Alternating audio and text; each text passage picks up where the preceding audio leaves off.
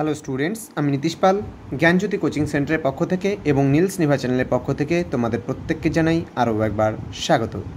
তো স্টুডেন্টস তোমরা স্ক্রিনে দেখতে পাচ্ছ যে আজকে আমি ডব্লিউবিসিএস পরীক্ষার জন্য যে বিষয়টি নিয়ে এসেছি সেটা হচ্ছে foreign words with memory tricks তো কিছু কিছু স্টুডেন্টস রয়েছে যাদের কিন্তু তোমাদের হচ্ছে যারা ডব্লিউবিসিএস এর পরীক্ষা দিচ্ছ, তাদের ক্ষেত্রে কিন্তু তোমাদের যে ফরেন ওয়ার্ডস যেটা রয়েছে সেটা কিন্তু অনেক সমস্যার সৃষ্টি করে এবং তোমরা বলো বেশিরভাগ ক্ষেত্রে, বেশিরভাগ সময়। আমার কিছু স্টুডেন্টস রয়েছে, তারাও বলো যে ফরেন ওয়ার্ডসগুলো আমাদের মনে থাকে না। এবং এগুলো খুব ডিফিকাল্ট মনে হয়। তো আজকে আমি সম্পূর্ণ মেমোরি ট্রিক সহকারে নিয়ে এসেছি যে কী করে তোমরা ফরেন ওয়ার্ডগুলো মনে রাখবে। আজকে আমি বেশ কয়েকটা ফরেন ওয়ার্ড নিয়ে আলোচনা করব। তো যারা আজকে ফার্স্ট টাইম ভিডিওটি দেখছ, তাদের কাছে রিকোয়েস্ট করব যে চ্যানেলটিকে সাবস্ক্রাইব করো এবং তার পাশে বেল আইকনটি প্রেস করে দাও। যারা যারা ডব্লিউবিসিএস এর প্রিপারেশন নিচ্ছে তোমার চেনাশোনা, প্রত্যেকের কাছে ভিডিওটি শেয়ার করে দাও। তো স্টুডেন্টস চলো শুরু করছি আজকের ক্লাস ফার্স্ট তোমরা দেখতে পাচ্ছ যে এক নাম্বার যে পার্টটা রয়েছে, তোমরা দেখতে পাচ্ছ অ্যাব ইনিশিও অ্যাব ইনিশিও কথার বাংলা অর্থ হলো শুরু থেকে বা গোড়া থেকে বা আরম্ভ থেকে আমরা বোঝাতে পারি। তো from the very beginning WBCS পরীক্ষায় যে ধরনের প্রশ্নগুলো আসে সেগুলো আমি তোমাদের পরবর্তী ভিডিওতে আলোচনা করব। আমি বেশ কয়েকটা ভিডিও তোমাদের ফরেন ওয়ার্ডের ওপরে তৈরি করব এবং সম্পূর্ণ মেমোরিটিকের মাধ্যমে। তো বলছে from the very beginning beginning মানে শুরু হওয়া বা আরম্ভ হওয়া তোমরা মনে রাখতে পারবে। তোমাদের মনে করো অ্যাবিনিশিও দেওয়া থাকে। বলছে অ্যাবিনিশিওর সঙ্গে কোনটা মিনিং রিলেটেড আছে? চারটা অপশন দেওয়া থাকে, তবে চারটা অপশনের মধ্যে থেকে তোমাকে খুঁজে বের করতে হবে যে এক্স্যাক্টলি মিনিং কোনটা। তাহলে অ্যাবিনিশিও মানে হচ্ছে শুরু থেকে বা গোড়া থেকে, এবং সেটার মিনিং হচ্ছে দাঁড়াচ্ছে from from the very beginning ঠিক আছে? তাহলে এবার কি করে মনে রাখব আমরা? দেখো একটা চারা গাছের ছবি আমি দিয়েছি। চারা গাছটা কি সবেমাত্র আরম্ভ হচ্ছে। একটা বীজ থেকে চারা গাছের উদ্ভব হচ্ছে বা চারা গাছটা এখানে সৃষ্টি হচ্ছে দেখা যাচ্ছে। তাহলে এটা কি হচ্ছে? শুরু হচ্ছে, একটা গাছের শুরু হচ্ছে। তাহলে এখানে অ্যাবিনিশিও মানে শুরু থেকে তোমার যে মিনিং দেওয়া আছে ফ্রম দ্য ভেরি বিগিনিং অর্থাৎ আরম্ভ বিগিনিং মানে আরম্ভ কথাটাও আছে এবং এখানে মেমোরি ট্রিক্সও আমি দিয়ে দিয়েছি। দেন চলো আমরা দু নম্বর যেটা রয়েছে, দেখি কি আছে। অ্যাড হক দু নম্বর রয়েছে অ্যাড হক অ্যাড হক কথার অর্থ হলো যে কারণে মানে কোনো একটা কারণে। ফর দ্য পারপোজ বা ফর হুইচ রিজন আমরা বলতে পারি। ঠিক আছে? ফর ফর দ্য পারপাস বলতে পারি অথবা ফর হুইচ রিজনও আমরা বলতে পারি। যেমন এখানে দেখো একটা বাচ্চা আমরা দেখতে পাচ্ছি, একটা শিশু, সেই শিশু হাঁ করে আছে, অর্থাৎ সে দুধ খাবে। অর্থাৎ ও আটা কেন করেছে? দুধ খাওয়ার জন্য, একটা কারণের জন্য ও আটা করেছে। তাহলে এখানে একটা আমরা কারণ খুঁজে পাচ্ছি। তাহলে অ্যাড হক মানে যে কারণে for the for the purpose অথবা the sorry for which reason আমরা বলতে পারি। দেন অ্যাড ইনফি নিটম অ্যান ইনফিনিটম তোমার হচ্ছে ইনফিনিটম কথার অর্থ হলো সীমাহীন। অর্থাৎ উইদাউট এন্ড যার কোনো শেষ নেই। অ্যাড ইনফিনিটাম কথার অর্থ হলো সীমাহীন, যার কোনো শেষ নেই। কি করে মনে রাখব? এন্ড মানেও শেষ অ্যাড ইনফিনিটিভ মানেও আমি বলছিলাম যে সীমাহীন। তাহলে যখন এখানে একটা বইয়ের ফ্রন্ট পেজের একটা ছবি দেওয়া আছে বা কভার পেজের একটা ছবি দেওয়া আছে, সেই কভার পেজের ছবিটা দেখে আমরা সচরাচর বুঝতে পারি, কি বুঝতে পারি? যে বইটা আমরা পড়ব এবং বই পড়লে আমাদের জ্ঞান অর্জন হবে। সেই জ্ঞানটার কি কোনো শেষ আছে? সেই জ্ঞানটার কিন্তু কোনো শেষ নেই। বই পড়লে যে আমাদের পড়া, সেই পড়াশোনার কিন্তু কখনো শেষ হয় না। যার জন্য আমরা বই দিয়ে এটাকে মনে রাখতে পারব। দেন চলে আসে আমরা এইড এইড কথার অর্থ হলো সাহায্যকারী এইড কথার অর্থ হলো সাহায্যকারী এবং এখানে বলছে পার্সোনাল অ্যাসিস্ট্যান্ট এখানে দেখতেই পাচ্ছ তোমরা ছবিতে দেওয়া আছে যে একজন বস আছে, পিছনে কাজ করছেন উনি এবং তার পার্সোনাল যে অ্যাসিস্ট্যান্ট রয়েছে, তিনি খুব খুশি তার প্রজেক্ট সে সাকসেস করতে পেরেছে এবং বস তাকে ভালো কথা বলেছে, সে অফিসের বসের রুম থেকে বেরোচ্ছে। তাহলে এইভাবে করে আমরা মনে রাখতে পারি সাহায্যকারী বা পার্সোনাল অ্যাসিস্ট্যান্ট যিনি মানে এই মেয়েটা দেখতে পাচ্ছি আমরা বসকে কোনো কাজে হেল্প করছিল বা সাহায্য করছিল, ঠিক আছে? তাহলে এইভাবে করে আমরা মনে রাখব পার্সোনাল অ্যাসিস্ট্যান্ট দিয়েও মনে রাখতে পারি এইড দিয়েও আমরা মনে রাখতে পারি। এবার চলে আসি আমরা অ্যাপ্রোপোজে অ্যাপ্রোপোজ কথার অর্থ হলো সংক্ষিপ্ত সার। অ্যাপ্রোপোজ কথার অর্থ হলো সংক্ষিপ্ত সার, অর্থাৎ যেটাকে একদম ক্ষুদ্র করে বোঝানো হয়। তাহলে to the point to the point. যেমন আমরা ছোটোবেলায় বিভিন্ন কবিতা, বিভিন্ন গল্প পড়েছি এবং মানে বই থেকে তার সংক্ষিপ্ত সারও আমরা পড়েছি, দেখেছি। তো এবার হচ্ছে টু দি পয়েন্ট মানে কি? সংক্ষিপ্ত সার আমরা বোঝাচ্ছি। এখানেও যেমন কি? টু দি পয়েন্ট একটা জাস্ট ছবি আমি তোমার হচ্ছে লোগো দিয়ে দিয়েছি এবং সেখান থেকে তোমরা দেখতে পারছ। ঠিক আছে? এবং এটা দিয়ে আমরা মনে রাখতে পারি টু দি পয়েন্ট বলতে আমাদের নিশানা যেটা আছে একদম ঠিক, তাই না? এবার চলে আসি আমরা অ্যালমা ম্যাটার। অ্যালমা ম্যাটার মানে হচ্ছে স্নেহশীলা মা।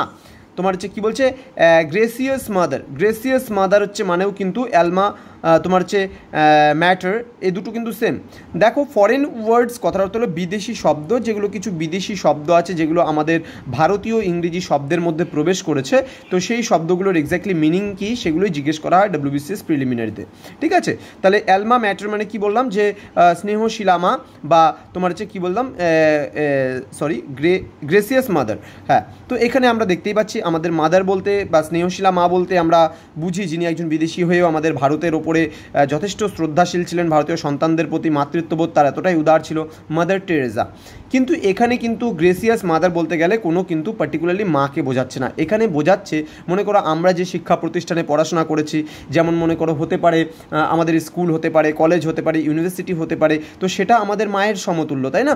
তো যার জন্য এটাকে তোমার হচ্ছে গ্রেসিয়াস মাদার বলা যেতে পারে, ঠিক আছে? তো কিন্তু আমরা মাদার বলতে এখানে মায়ের কথা মনে রাখব gracious mother then alma mater দিয়ে আমরা মানে মনে রাখতে পারি যেভাবে হ্যাঁ?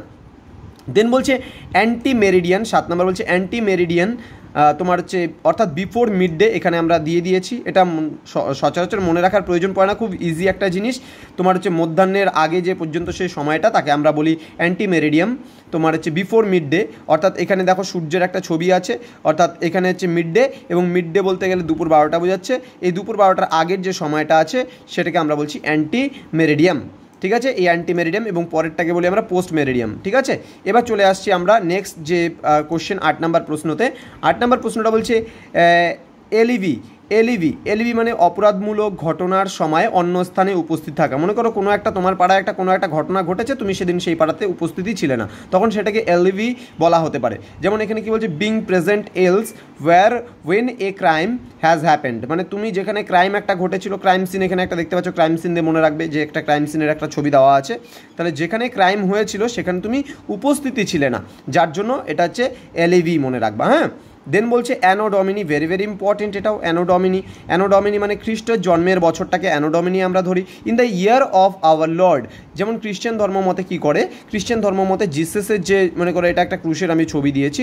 জিসেসের জন্ম মনে করো এই মিডিল পোর্শনে যদি হয়ে থাকে জিসেসের জন্ম, তাহলে জিসেসের জন্মের যে আগের সময়টা আছে, সেই সময়টাকে আমরা বলি বিসি মানে বিফোর ক্রিস্ট আর এডি মানে হচ্ছে অ্যানোডমিনি।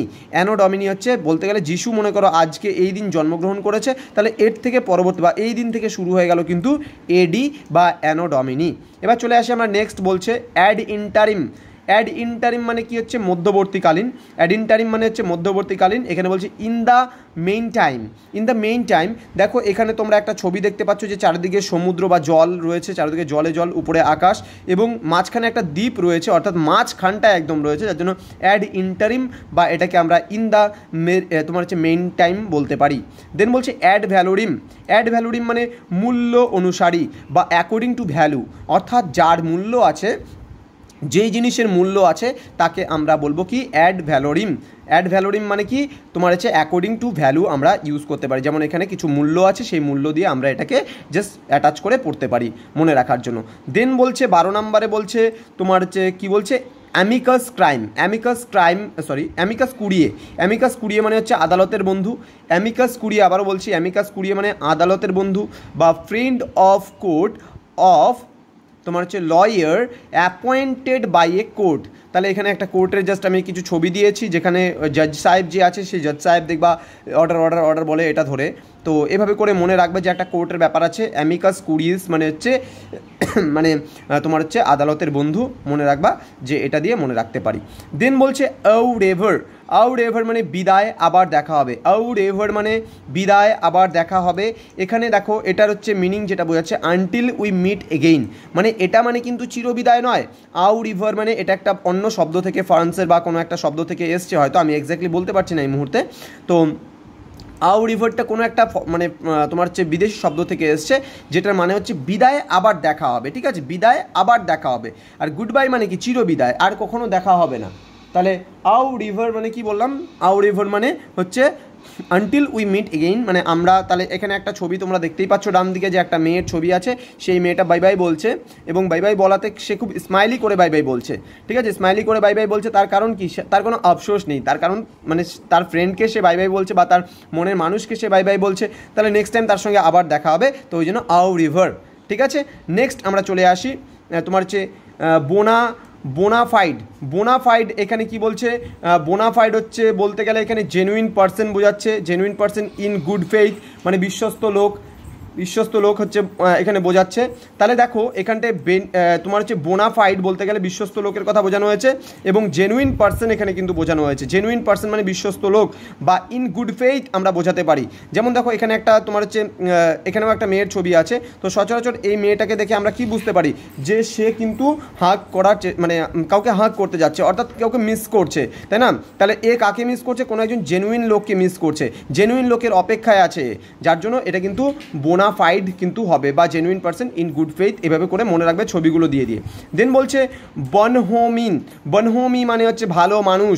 বনহোমি মানে ভালো মানুষ গুড নেচার্ড পার্সন আমরা যাকে বলি। গুড নেচার্ড পার্সন বলতে এখানে কি রয়েছে? দেখো একটা ফ্রেন্ড সার্কেল রয়েছে। আমরা বিভিন্ন সময় ফ্রেন্ডরা মিলে এরকম ধরনের ইয়ে করে ফটো তুলি, পা দিয়ে বা বিভিন্ন রকমের পোজ দিয়ে আমরা ফটো তুলি। তো ফ্রেন্ডদের সঙ্গে, একে অপরের সঙ্গে নিশ্চয়ই আমরা গুড নেচার্ড পার্সন হই, একে অপরের সঙ্গে। যার জন্য আমরা খুব ভালো মানুষ আমরা একে অপরের সঙ্গে হই। আর বন্ধু কারা পায়? যে ভালো মানুষ তারাই কিন্তু তোমরা হচ্ছে মানে তারাই কিন্তু অলরেডি ভালো বন্ধু পায়।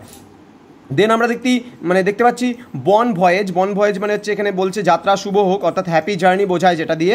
তো এখানে হ্যাপি জার্নি এখানে দেখতেই পাচ্ছ যে ফ্লাইটে করে যাবে এবং মানে তোমার হচ্ছে ট্রেনে জার্নির সময় বা ফ্লাইটে জার্নির সময় বলা হয় হ্যাপি জার্নি অর্থাৎ আপনার যাত্রা শুভ হোক। তো দ্যাট ইজ বলতে পারো। তো দেন বলছে carte blanche sorry carte blanche মানে হচ্ছে তোমার সম্পূর্ণ ক্ষমতা দেওয়া, সম্পূর্ণ ক্ষমতা দেওয়া পুরো পাওয়ারটা দিয়ে দেওয়া বা ব্ল্যাঙ্ক চেক এর মিনিংটা বা গিভিং সামওয়ান ফুল পাওয়ার্স কাউকে পুরোপুরি পাওয়ার দেওয়াটাকেও আমরা বলতে পারি যে কার্টে ব্লান্সে অর্থাৎ এখানে একটা চেক দেওয়া আছে চেকে মনে করো সাপোজ এখানে যদি তুমি সিগনেচার করে দাও এবং যদি চেকটা কাউকে দিয়ে দাও, তাহলে কি দাঁড়াচ্ছে? যে কারও, কাউকে তুমি তার পুরো পাওয়ারটা দিয়ে দিলে যে যত খুশি তুমি ভরে নাও, এই নাও চেকটা নিয়ে তুমি এখান থেকে বিদায় হয়ে যাও। সো হ্যাঁ দেবা যে বিভিন্ন বাংলা মুভিতে বা হিন্দি মুভিতে বলা থাকে যে সাপোজ মনে করো কোনো একটা ছেলে কোনো একটা মেয়েকে ভালোবাসে, তখন মেয়ের বাবা বলছে, খুব বড় লোক মানুষ, বলছে, নাও, তুমি কত টাকা লাগবে নিয়ে চলে যাও। ঠিক আছে? দ্যাট ইজ মনে, আমরা এইভাবে করে মনে রাখতে পারব জিনিসটাকে। দেন বলছে কপ ডি এইট কপ ডি এইট মানে হচ্ছে, এখানে শক্তি বলে বা অবৈধভাবে শাসনতন্ত্র পরিবর্তনকেই বলছে তোমার হচ্ছে কপ ডি এইট তোমার এখানে কি বলছে? অ্যান অ্যাব্রাপ্ট অ্যান অ্যাব্রাপ্ট হচ্ছে চেঞ্জ ঠিক আছে? অফ গভর্নমেন্ট বাই ফোর্স মানে গভর্নমেন্টকে যদি মানে শক্তি বলে পরিবর্তন করা হয়, তখন সেই জিনিসটাকে তোমার বোঝানো হয়। যেমন এখানে সবাই মিলে দেখো হাত তুলে বলছে, এই সরকারের আমরা আর চাই না, এই সরকারের আমরা যেমন করে হোক পরিবর্তন চাই, বিভিন্ন কারণের হতে পারে সরকারের পরিবর্তন তারা চাইছে। তাহলে শক্তি বলে বা অবৈধভাবে যদি শাসনতন্ত্র পরিবর্তন করা হয়, তখন তাকে কপ ডেট বলা হয়। দেন আমরা দেখব ক্যাভেট ক্যাভেট মানে হচ্ছে এ ওয়ার্নিং বা সাবধান বলতে পারো এর মিনিংটা যেমন মনে করো বিভিন্ন জায়গায়, মনে করো আগুন আছে, আগুনের ক্ষেত্রে আমাদের বলতে পারি যে ওখানে হট সারফেস আছে ক্যানট মে তোমার কস বার্নস এই যে ডু নট টাচ এই সমস্ত জিনিসগুলো আসতে পারে। ওয়ার্নিং মানে কি? সতর্কতা জারি করা হচ্ছে বা সাবধানতা জারি করা হচ্ছে। তো স্টুডেন্টস কেমন লাগল ক্লাসটা তোমরা মেসেজ করে অবশ্যই জানাবে। এবং পরবর্তী ক্লাসে আমরা আজকে দু পেজ নিয়ে আলোচনা করলাম, উনিশটা টোটাল তোমাদের ফরেন ওয়ার্ডস নিয়ে আলোচনা করেছি মোস্ট ইম্পর্টেন্ট ফরেন ওয়ার্ডস এবং আগামী দিনও মানে নেক্সট ক্লাসেও আমরা ফরেন ওয়ার্ডস নিয়ে আলোচনা করে দেবো। তো বিভিন্ন চাকরি পরীক্ষার জন্য আমরা সচরাচর এখান থেকে স্টুডেন্টদের বিভিন্ন ইয়ে করে থাকি, এবং এটা কিন্তু তোমরা যদি সম্পূর্ণ পিডিএফটা পেতে চাও, তাহলে কিন্তু আমাদের মানে এই ভিডিওর ডেসক্রিপশনে দেওয়া আছে W W W dot NXT LIGST dot blogspot dot com এছাড়া ডেসক্রিপশন বক্সে আমাদের নাম্বারও দেওয়া আছে, তোমাদের যদি কোনো সমস্যা হয়, সেই সমস্যার কথাও তোমরা আমাদের জানাতে পারো স্টুডেন্টস তো থ্যাংক ইউ সো মাচ দেখা হচ্ছে পরের ভিডিওতে ততক্ষণ ভালো থেকো সুস্থ থেকো। Thanks for watching thank you